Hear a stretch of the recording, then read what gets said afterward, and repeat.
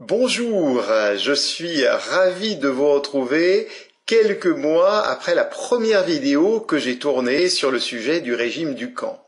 Cette vidéo-là est réalisée en septembre 2011, soit environ sept mois après la première. Entre-temps, les médias se sont déchaînés sur le docteur Ducamp, il faut bien le dire, à tort ou à raison, comme nous allons justement en discuter ensemble. Mais vous verrez que cette vidéo va bien au-delà du régime Ducamp. Les médias ont raison d'ailleurs sur certains points.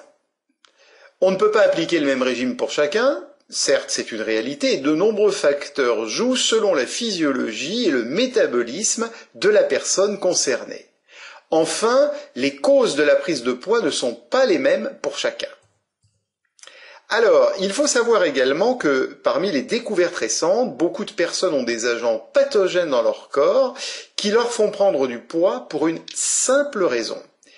La couche de graisse protège le corps de l'intrusion de corps étrangers qui pourrait avoir un effet destructeur sur le corps. C'est quelque chose de peu connu, mais vous pourrez certainement vous documenter euh, sur la chose.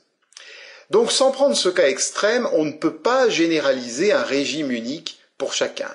De plus, les protéines à long terme produisent ce qu'on appelle des déchets cellulaires. Alors qu'en est-il pour nous-mêmes de ce régime du camp? Voulez-vous la vérité? Eh bien, la voici. Après quelques mois, nos bonnes résolutions se sont envolées et après avoir mené le programme sérieusement pendant plusieurs mois, en avril 2011, nous avons arrêté. Mais ce qui est intéressant, je tiens à vous le dire, c'est que nous avons quand même stabilisé à peu près notre poids.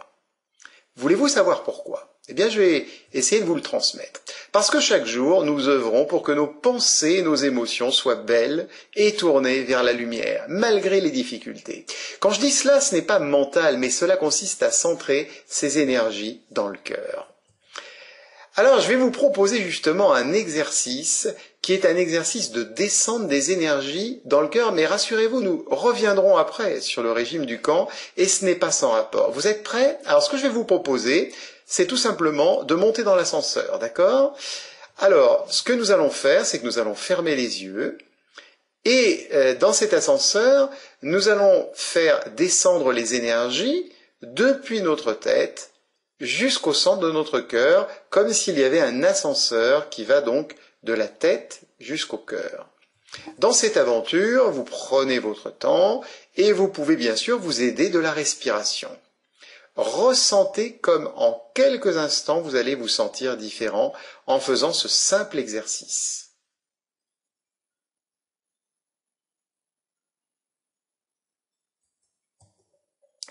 Alors, il importe de pratiquer cet exercice quotidiennement, plusieurs fois par jour, afin qu'il devienne un véritable automatisme pour que cela se transforme, au bout d'un certain temps, en véritable compétence inconsciente, c'est-à-dire un peu comme la conduite automobile. J'insiste pour que chacun de vous qui visionnez cette vidéo lâchiez le mental, car dès que vous cogitez et tournez en rond dans votre tête, eh bien, vous sortez de l'espace du moment présent, et donc du cœur automatiquement. Et cela est une garantie pour soit avoir une peur de l'avenir, soit des regrets par rapport au passé. Ne sous-estimez pas cet exercice de l'ascenseur malgré sa simplicité. C'est vraiment une aide des plus sérieuses à condition de le pratiquer plusieurs fois par jour et régulièrement, surtout si chaque fois vous avez une montée de stress, vous pratiquez cet exercice, vous en tirez des bénéfices certains. Vous pouvez aussi pratiquer la cohérence cardiaque matin et soir. Il s'agit d'exercices respiratoires simples et très bénéfiques qui jouent sur la prise de poids aussi. J'ai offert une formation gratuite et des outils sur ce sujet et vous trouverez le lien sous la vidéo gratuite pour pouvoir accéder à cette présentation et ces outils de la cohérence cardiaque. Vous avez peut-être l'impression que je m'éloigne du sujet. Eh bien pas du tout et je vais vous le prouver. Je voudrais vous dire que j'ai la certitude que le fait de maintenir de la joie et de l'amour dans le cœur permet de conserver un poids équilibré. Puisque vous permettez ainsi à votre corps de faire son travail de nettoyage, déboire et d'œuvrer pour rééquilibrer son métabolisme en utilisant ses pleines capacités sans entrave d'ordre émotionnel ou mental. Savez-vous par exemple qu'aux États-Unis, des recherches des plus sérieuses sont en cours pour expliquer l'importance d'avoir des cellules et des organes heureux et joyeux? Mais je reviens sur le sujet du camp. Où en sommes-nous? Eh bien, au bout d'un moment, avec ce programme, on devient un peu écœuré de certains aliments. Par exemple, moi, je ne peux plus avaler de moules et Corinne n'a plus envie de crevettes et de bulots. Euh, c'était des protéines très pratiques. De plus, notre corps est conçu pour avoir une alimentation variée et non pas une alimentation uniciste. Alors, ce que nous avons conservé qui peut être bien de la méthode du camp, c'est d'essayer de garder une journée de protéines hebdomadaires, d'éviter le fromage, le pain et les biscuits et trop de sucre en dessert. Je vous propose de préférer les fromages blancs et les compotes. Si vous avez faim entre les repas, surtout ne vous jetez pas sur n'importe quoi. Ça, c'est quelque chose d'important. Ayez le réflexe naturel de penser à manger des choses saines et qui vous apportent des nutriments nécessaires à la vie, pas des calories vides, hein, en fin de compte. Aérez-vous le plus possible et marchez. L'air nous nourrit par ce qu'on appelle le prana. Il y a d'ailleurs des gens qui se nourrissent carrément euh, que d'air. On peut aussi se nourrir d'amour et d'eau fraîche. Et d'air en même temps, hein, pourquoi pas. Alors consommez le plus de produits variés de saison et si possible de qualité biologique pour la teneur en nutriments la plus variée et équilibrée possible. Essayez de respecter les combinaisons alimentaires. Il y a d'ailleurs aussi une vidéo explicative. Je parle euh, de la consommation de fruits sur cette vidéo, du goji, mais je parle également des combinaisons alimentaires et de leur importance. Vous allez aussi apprendre pas mal de choses. Ce sont encore une vidéo gratuite.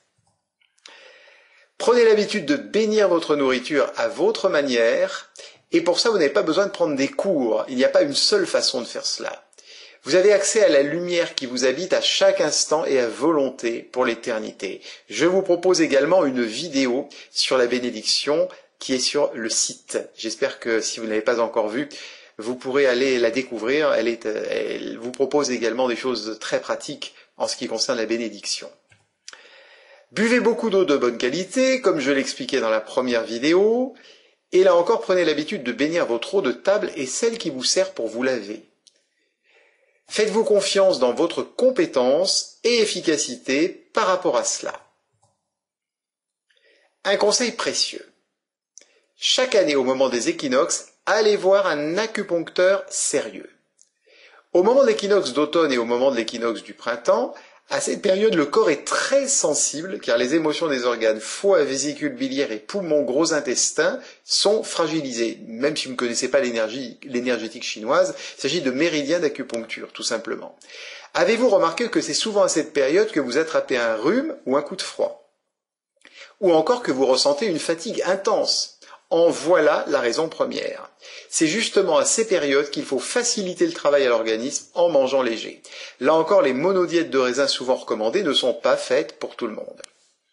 Sans compter que quand on connaît l'énergétique chinoise, ces organes sont aussi reliés à des émotions et des fonctions mentales. Par exemple, la colère est liée au foie, la tristesse aux poumons, Comprenez-vous alors pourquoi c'est essentiel d'investir un peu d'argent deux fois par an pour rééquilibrer ces organes?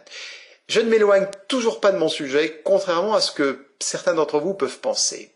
Cela joue sur le poids puisque cela permet aussi de faciliter et d'améliorer le drainage et l'élimination. Essayez surtout, quand vous faites un bon repas en famille, de compenser le lendemain en faisant attention à ce que vous mangez en quantité et en qualité. Cela, nous le faisons nous-mêmes et avons conservé cette habitude et je peux vous dire que cette simple chose peut faire la différence.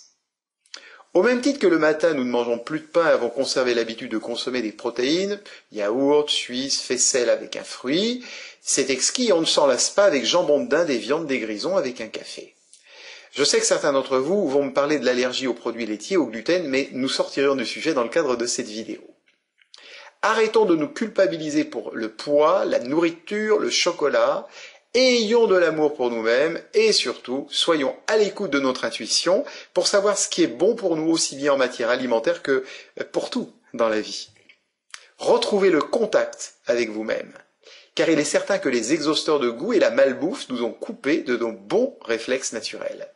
Enfin, n'oubliez pas que tout est nourriture dans la vie, aussi bien les émotions, que les pensées, que les états d'âme. Et l'orgueil. Eh oui. Alors, je vous remercie de votre attention, de votre engouement pour bouger la vie, le site de la conscience en harmonie, tout en vidéo. Les liens sur la cohérence cardiaque, les combinaisons alimentaires et la bénédiction sont sous la vidéo. À bientôt. Merci de votre attention.